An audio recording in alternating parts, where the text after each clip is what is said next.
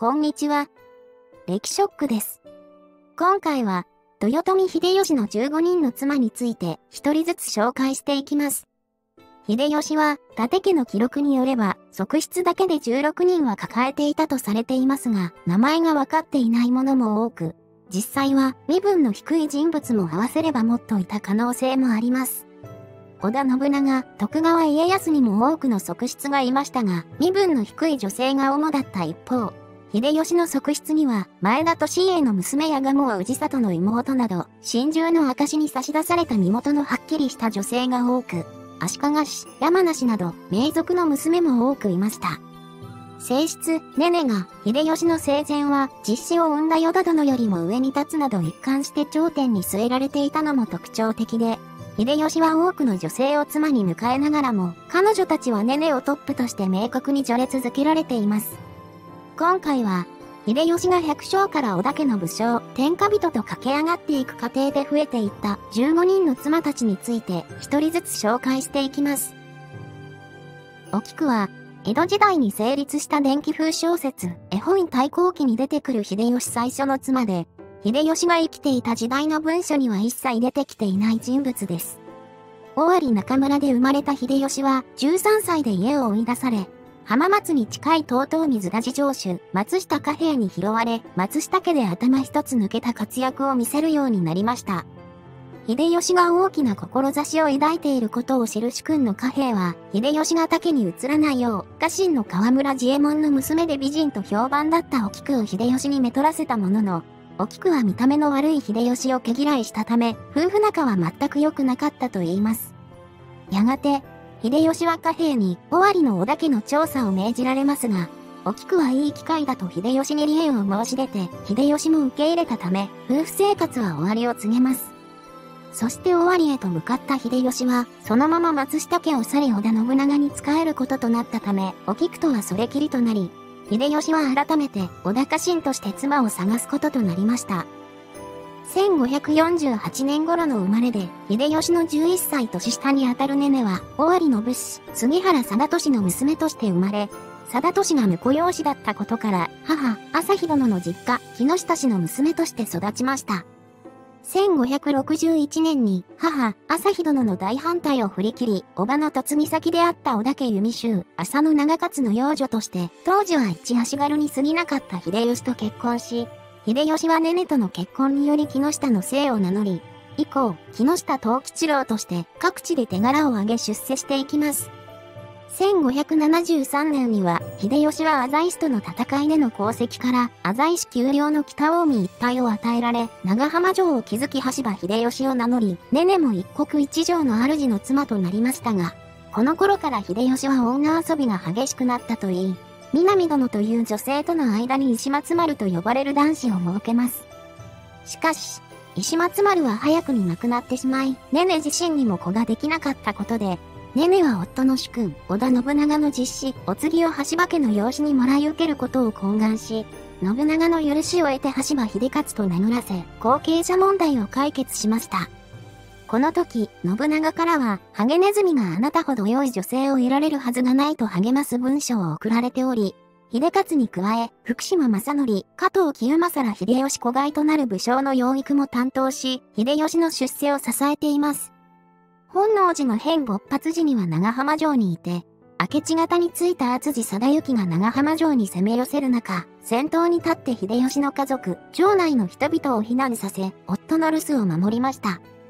秀吉が山崎の戦い、静ヶ岳の戦いに勝ち勢力を広げていく中では、ネネは本願寺県女、前田利家の妻と親しくやりとりを交わし女性外交を展開しており、夫の勢力拡大の一助となっています。小牧長久手の戦い後に、秀吉が朝廷のトップ、関白になると、ネネも北の真所となり、朝廷対応を担うようになった一方、淀殿をはじめとした秀吉の側室、養子たちの取り仕切りも担当し、天下人秀吉の正室として、日本の女性のトップに立つこととなりました。秀吉もネネのことは生涯にわたって大事にし、淀殿が子を産んだ後も、小田原征伐の陣中に淀殿を呼び寄せる際はネネを通して呼ぶなど、ネネを第一の正室として立て続けており、長年共に歩んできた良き相談相手としても全幅の信頼を置いていました。ネネは1万6千石と大名並みの狩猟も与えられており、豊臣政権内では大きな発言力を持っていましたが、秀吉死後はもう一人の正室となった豊臣秀頼の聖母、淀殿と秀吉の御家としての役割を分け、大阪城西の丸を徳川家康に明け渡し京に移り、秀吉の菩提を弔う日々を送ります。家康とは交流を持っていたものの、関ヶ原の戦いで積極的に東軍に加担した事実はなく、東軍寄りの姿勢を見せたというのは、子飼いの福島正則や黒田長政が勝手にネネの名前を持ち出し、小早川秀明などの勧誘を行っていただけのことです。出家志向大院と名乗った後も、京にいながら、豊臣家と徳川家、朝廷をつなぐ役割を果たし、1605年には家康の使者として、大阪の与田殿に秀頼上洛を進め、1611年に秀頼が上洛し家康と対面した際には、加藤清正と共に同席しています。大阪の陣でも、淀殿に改善を止めさせようとしたものの、徳川軍に阻まれ動けず、夏の陣では、動きを警戒した家康に見張りをつけられ、豊臣家滅亡をただ見守ることしかできませんでした。豊臣家滅亡後、家康が秀吉を祀る豊国社を取り壊そうとした時は止めに入ったものの、家康死後に幕府が取り壊しを強行した際は止められず、秀吉と二人三脚で築いた豊臣家の痕跡が消されていく中、秀吉の死の26年後、1624年に76歳で生涯を閉じました。南殿は、豊臣秀頼を生んだ淀殿以外では、唯一秀吉の実施を生んだ可能性があるとされる人物で、秀勝とも名の伝わる石松丸を設けたとされます。素性については一切分かっておらず、1570年の姉川の戦いの前後、秀吉が浅井氏と対陣している最中に現地の女性に手をつけたものとされており、浅井氏滅亡後、長浜城主になった秀吉が正式に側室に迎え入れたといいます。秀吉との間には石松丸の他に女子も一人設けたといい、琵琶湖に浮かぶ竹生島の宝賀町に南殿の名があることが存在の根拠とされていますが、石松丸を含め、その存在を疑問視する声もあります。二人の子は幼くして亡くなっており、南殿は子供たちの死後は出家し、秀吉の元を離れ、豊臣家滅亡後、1634年に亡くなったとされています。稲葉鳥取城主、山名豊国の娘である南の局は、中国地方攻略を進める秀吉が1580年に山陰地方を攻めた際、豊国から差し出されたとされる女性です。山野氏は室町時代前期には11カ国の守護を兼ねていた大大名で、応仁の乱でも山名宗禅が西軍の総大将を務めるほどでしたが、この頃には勢力は衰え、毛利氏に従属する立場となっていました。山名豊国は当初は秀吉に抵抗する構えを見せていましたが、秀吉の大軍の前に降伏し、南の局はこの時秀吉に捕らえられたともされており、一国の大名の心中の証として秀吉の側室に迎えられました。しかし、父の豊国は毛利氏と結ぶ家臣に城を追われ秀吉に保護され、秀吉は、吉川常家を新たな総大将に迎えた鳥取城を兵糧攻めにして、1581年に再び落とします。南の局は、山梨と小田氏をつなぐ存在となるはずでしたが、父、豊国が領地を失ったことで存在価値は低下し、その後も秀吉の側室として保護され続けましたが、具体的な消息についてははっきりと伝わってはいません。備前殿とも呼ばれる円遊院は、1549年頃、美政の三浦氏の娘として生まれ、同族の美政高田城主、三浦貞勝に嫁ぎ、男子を設けていました。しかし、1565年16歳の頃に、夫が備中松山城主、三村家近に城を攻められ自害。円遊園は息子を連れて城を落ち延び、三村氏と対立する備前の浮田直家に保護され、直家と再婚します。直家との間には後継ぎの浮田秀家が生まれましたが、1581年に直家は9歳の秀家を残して亡くなってしまいます。当時、浮田氏は織田方として毛利氏と織田氏の争いの最前線に立っていたことから、遠入園は織田家の中国方面司令官を務めていた秀吉に接近し、息子秀家を盛り立てるよう懇願しました。遠入園はまだ若く、美人としても知られていたことから、秀吉は側室として迎え入れ、秀家も秀吉の養子とされ、浮田氏は秀吉の一門同様の扱いを受けるようになります。秀家は同じく秀吉の養女となっていた前田利家の娘、郷姫と結婚し、五大老の一人にもなりましたが、関ヶ原の戦いで西軍の主力として戦ったため、八丈島に流罪となりました。遠遊園は秀吉の死後出家していましたが、息子が没落する姿を見ることとなり、息子の行く末を心配しながら亡くなることとなりました。松の丸殿とも呼ばれた京極達子は、近江の名門守護大名、京極氏の当主、京極高義と浅井長政の姉、京極マリアの間に生まれており、淀殿とはいとこにあたります。達子は、はじめは隣国若狭の守護、武田元明に嫁ぎに難一条を設けましたが、本能寺の変後、元明は明智光秀に味方し給料回復を狙ったため、秀吉に撃たれ、達子は秀吉に捕らえられました。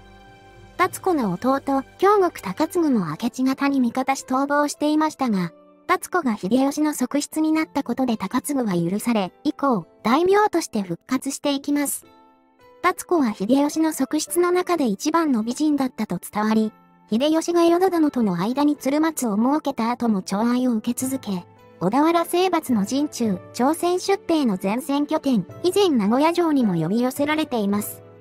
達子にとって秀吉は夫の仇でしたが、秀吉は眼病を患う達子をたびたび見舞い、当時野球を進めるなど細やかに接していたこともあり、側室としての寵愛を受け続け、ねね、淀殿に次ぐ、秀吉の妻の中では3番目の地位に位置づけられていました。秀吉死後は、近江大津城主となっていた弟の京極高次のもとへ身を寄せていましたが、関ヶ原の戦いでは、高次が東軍に着いたことで西軍の大軍が大津城に攻め寄せ、達子は戦に巻き込まれます。西軍の王術が天守に当たり、達子は気絶したという話もありますが、ねね、淀殿が救出に動き、城から脱出することができ、戦後は京都で暮らしました。大阪夏の陣では、処刑された豊臣秀頼の子、国松の遺体を引き取り埋葬したとされ、秀吉の死から36年後の1634年に亡くなりました。加賀殿とも呼ばれるマー姫は、前田利家と側室の間の子として、1572年に生まれました。1582年、10歳の時に、当時父の利家が北陸の柴田勝家の配下だったことから、勝家の仲介で、同じ柴田家の佐久間重蔵という若侍と婚約したものの、翌年に静ヶ岳の戦いが起こります。マー姫は人質として北の少女に置かれていましたが、柴田軍の敗北後、女中の起点により場外へ逃がされ、前田利家も心置きなく秀吉に味方することができ、勝家滅亡後に加賀で領地を仮装されています。その後、1586年になって、マー姫は父に連れられ上洛し、当初は35歳年上の秀吉の養女となりましたが、1590年18歳の頃には側室として改めて迎えられました。マー姫は病気がちだったようで、側室ながら秀吉の元には行かず、前田屋敷で暮らしており、秀吉の方から利家との面会も兼ねてマー姫を訪問するという珍しい待遇を受けていました。1598年の第五の花見を最後に26歳で側室を辞めて秀吉の元を去り、療養に努めており、一時回復した後、秀吉の許可を得て、公家のまでの工事厚房に嫁ぎ、男子を設けます。しかし、病弱な体質がたたり、厚房の元も去り、息子と共に金沢の兄、前田利長の元へ戻ったものの、1605年に33歳の若さで亡くなりました。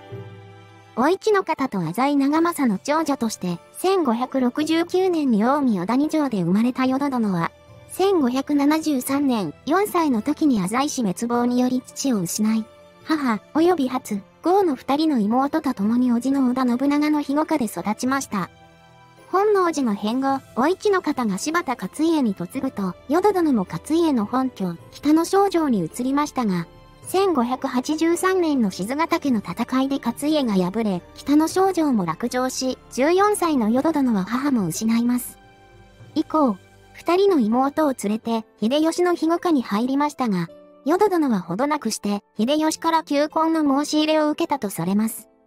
ただし淀殿は、二人の妹の嫁ぎ先が決まってからと条件をつけ、初は京極高次、後は豊臣秀勝に嫁ぎ、二人の結婚を見届けて、淀殿は1586年頃に秀吉の側室となりました。1589年、20歳の時には、秀吉待望の実子、鶴松を生み、秀吉の性質、ねねと並ぶ性質待遇とされましたが、2年後に鶴松は亡くなってしまいます。しかしその2年後、淀殿は再び子を身ごもり、豊臣秀頼を生み、豊臣秀次が廃され秀頼の後継者の地位が確定したことで、淀殿はお袋様と呼ばれ、その県政はネネをもしのぐほどになりました。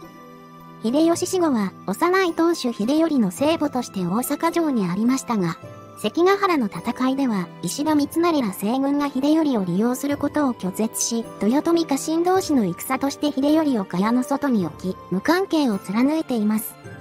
その後、家康が幕府を開き、天下人としての地位を固め、豊臣家の力が相対的に落ちていく中、淀殿は大阪城の実質的な主として君臨していました。1605年に将軍代替わりを機に家康の依頼を受けたネネが秀頼の上洛を求めてきた時には断った一方、1611年には秀頼の上洛を許し、家康と対面させるなど、徳川家との距離を測りながら豊臣家を仕切っています。しかし、豊臣家と徳川家の関係は悪化していき、淀殿は家康の策略により失勢の片桐勝元を遠ざけるなど、徐々に海戦の方向へ誘導されていき、1614年には大阪冬の陣が勃発しました。戦いが始まっても、淀殿は実質的な大阪城の主として徳川方との和睦交渉も主導していましたが、家康に和睦条件の堀の埋め立てを違えられるなど追い詰められていきます。そして、滅亡覚悟で夏の陣へと突き進み、大阪城本丸が炎上した後は秀頼と山里来るわへ避難。ここで秀頼や重臣の王の春ながらと共に自害し、豊臣家の滅亡と共に46歳で生涯を閉じました。北条支配下の武蔵押城主、成田氏長の娘として1572年に生まれた海姫は、1590年18歳の時に小田原征伐を迎え、小田原城に入った父の留守を守る一人として押城に残っていました。押城は石田三成らによって水攻めにされるも、成田長近を大将とする成田軍は奮戦し、海姫も女性ながら戦場に出て豊臣軍と戦い、敵を討ち取ったとされます。最終的に押城は、北条型の城の中では唯一最後まで籠城戦を続け、戦後は、蒲生氏里に預けられた父、氏長に従って合図に移っています。氏長は合図で一万石を与えられ、福井城主となったと言いますが、氏長が氏里と共に一騎鎮圧のために出陣し、城を留守にしている間に、家臣の浜田兄弟が反乱を起こし、町内の人々を殺害します。海姫は、自ら陣頭に立って反撃し、浜田兄弟を場外へ追い払い、片方を討ち取る功績を挙げ、その武勇を聞いた秀吉が興味を持ち側室に所望し、蒲生氏里の勧めもあり秀吉の側室となりました。娘が側室になったこともあり、父の氏長は下野烏山2万石を与えられ大名に復帰し、成田氏は江戸時代以降も大名として続いていきます。海姫も1598年の第五の花見に側室の一人として参加したところまでは即席が終えるものの、秀吉死後どうなったかについては定かではありません。三の丸殿は織田信長の娘で、母は織田信忠の目のも務めた持徳院となっています。本能寺の変の時にはまだ幼く、蒲生氏里の誠実となっていた姉、冬姫に保護されたといい、そのまま秀吉配下となった氏里の手元で育てられました。信長の実の娘ということで秀吉も厚遇し、伏見城の三の丸に住まわせ、第五の花見では、レネ、淀殿、京極達子に次ぐ5番目の前姫より上の4番目に位置づけられていました。秀吉死後は、かつて秀吉に関白を譲った公家、二条秋実に再婚したとする説があります。二条秋実の妻とされる人物と法名が同じなため、二人の女性の法名が混同してしまった可能性はあるものの、同一人物であるならば、秀吉の死から5年後の1603年に亡くなったこととなります。蒲生氏里の妹である三条殿は、おとらとも呼ばれ、三の丸殿が秀吉の側室になったのと同時期に、氏里から秀吉に人質として差し出され、側室とされました。秀吉から三条殿に宛てた書状が数多く残っているものの、三条殿は病床に伏していることが多かったようで、書状の多くは三条殿の病状を見舞う内容です。前田利家の娘、マー姫と同等の待遇を受けていたとみられますが、1598年の第五の花見では姿が見えず、それ以前に亡くなったと推定されています。姫路殿は織田信長の同母弟で、家中では織田信忠、信勝に次ぐ地位にあった織田信亀の娘です。秀吉が中国攻めを始めた頃の1577年に秀吉に側室として差し出され、姫路城で暮らしたことから姫路殿と名が伝わったとされていますが、当時の信金が秀吉に娘を差し出す言われはなく、疑問視されています。実際は、本能寺の変後、信金が秀吉に従った際に人質に差し出されたものとされますが、側室になった後の即席についてはあまり伝わっておらず、秀吉の死から43年後の1641年に亡くなったとされています。島子とも呼ばれる月経院は、お弓久保、足利頼厚の娘で、祖父、足利義明は古学坊家出身で、独自に勢力を広げようとしたものの、河野大合戦で北条氏綱に敗れ討ち死にしていました。その後、頼厚は阿波の里見氏に庇護され、お弓久保としての勢力は失い、里見氏の正当性主張のための道具とされていましたが、古学坊の一族として、まだ関東諸将の間では権威が認められていました。小田原征伐が行われた頃、月経院は下野の名族、吉連川塩野谷氏に嫁いでいましたが、夫の塩野谷忠久は、秀吉の欧州塩木軍の前に月経院を置いて逃亡しており、月経院は秀吉に側室として迎えられることとなります。秀吉は月経院との縁を頼りにお弓久保家を使って源頼朝以来の伝統の残る関東を治めようとしていました。月経院の弟、足利国友は、北条氏の傀儡となっていた古学坊、足利義氏の一人娘、氏姫と結婚させられ、子が、お弓久保は合体し、関東久保家として残されます。北条氏滅亡後の関東は徳川家康に与えられ、家康は統治の一環で源氏を名乗っていましたが、秀吉は関東の統治者の系譜、関東久保家を残すことで、形式上でも家康を抑えることとなり、月経院は豊臣家と久保家の橋渡し役となりました。月経院は、吉連川の領地を足利国友に譲り、国友の死後、弟の頼氏が氏姫との間に設けた義親の系譜が江戸時代以降は吉連川藩として続いていきますが、家康は幕府を開くにあたって、秀吉につけられた久保家という足かせを外すのに苦労することとなります。月経院自身は、秀吉の死後出家し、以降は徳川家康と交流を持ち、関ヶ原の戦い後は家康の要請で、会津の蒲生秀行に嫁いだ家康の三女、栗姫付きとなり、会津へ下りました。その後、江戸に戻り、市ヶ谷の平安寺を再興し、月慶寺と改め晩年を過ごし、1655年に87歳で亡くなりました。広沢の局は、秀吉が朝鮮出兵のために以前名古屋城に在陣している際に、現地で手をつけた女性で、以前の地侍、名古屋越前の神の妹とされています。1593年に、淀殿が豊臣秀頼を妊娠して大阪に帰った後、秀吉の寵愛を受けたといい、淀殿がいた名古屋城内の山里車の隣の広沢車に住んでいたといいます。広沢の局は、秀吉が伏見城に戻った後も名古屋城に残っていましたが、秀吉が亡くなると出家し、城内に光沢寺を建立し、秀吉の菩提を弔いました。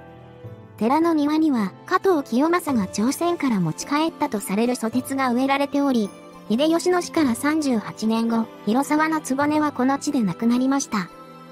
河野前とも呼ばれるお種は、伏見で浪人をしていた高田次郎右衛門の娘で、美貌を秀吉が気に入り妾として迎えた人物ですが、お種は秀吉の妻たちの中では一番数奇な運命をたどっています。ある日、秀吉が伏見城で伊達政宗と碁を打っていたところ、掛け碁をすることとなり、政宗は自分の首をかけ、秀吉はそばに控えていたお種をかけ、政宗が勝ったことで、お種は秀吉から政宗へ下されたとされます。当時お種は二十歳前後で、政宗はお種を領地へ連れ帰ったものの、正室、メゴ姫の手前、城内に入れることはできず、城下の町人屋敷に入れ、密かに屋敷に通っていました。政宗との間に一男一女を設けたものの、伊達家のことするわけにはいかず、お種は子供たちと共に重臣の鬼庭綱本に下げ渡され、綱本の側室扱いとなり、二人の子も綱本の子という扱いとされます。息子は高清水城主の渡重宗の婿養子となり、渡宗元を名乗り、代わりに伊達姓を名乗ることを許された渡氏当主、伊達貞宗の枠や伊達家の一門として続きました。娘のツタは、伊達氏重臣の原田宗助に嫁ぎ、原田海宗助を設けましたが、原田海は人情事件、漢文伊達騒動を起こし、切り合いの末に亡くなっています。お種自身は、高清水城主となった宗元の下で余生を送り、秀吉の死の43年後、政宗の死の5年後の1641年に64歳で亡くなりました。秀吉には、広沢の局やお種のような身分の低い羊の妾が他にも多くいたと見られていますが、広沢の局のように寵愛を受けることは稀で、秀吉に子ができなかったこともあり、多くは歴史に名が残ることもなく、歴史の闇の中に消えていくこととなりました。最後まで動画をご覧いただき、ありがとうございました。参考文献は概要欄に記載しております。この動画をいいなと思っていただけたら、高評価、チャンネル登録をお願いします。こちらのアイコンをタップしていただけると、チャンネル登録できます。Twitter、ウェブサイトでもたくさんの日本史情報を発信していますので、よかったらチェックしてみてくださいね。